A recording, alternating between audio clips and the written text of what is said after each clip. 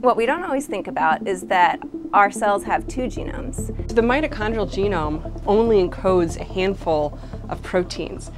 And the really fundamental question that we wanted to address is even though it's only a few genes, how does this small compact genome uh, coordinate its gene expression processes with the nuclear genome, the one that we know so much about and so much work has been done to elucidate how it works? What we were able to do is develop a way to look at gene expression from both genomes at the same time. We found that the nuclear genome and the mitochondrial genome do coordinate their gene expression processes.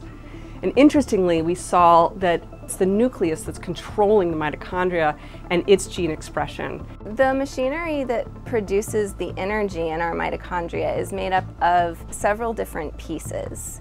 And some of the pieces come from the mitochondria and a lot of the pieces come from the nucleus. So what you can see is that the two genomes first make the RNA, and then the nuclear produced RNA has to leave the nucleus and enter the cytoplasm while the mitochondrial RNA just stays in place. The pieces that make up one machine are made at the same time. And then those from the nucleus have to be imported into the mitochondria and assembled with the pieces that are made there to make this whole machine that goes on to produce energy.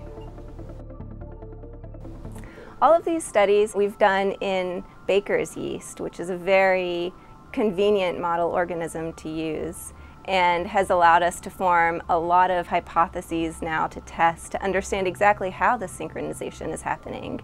And our next steps are to move into mammalian cells so that we can understand what's happening in our own bodies.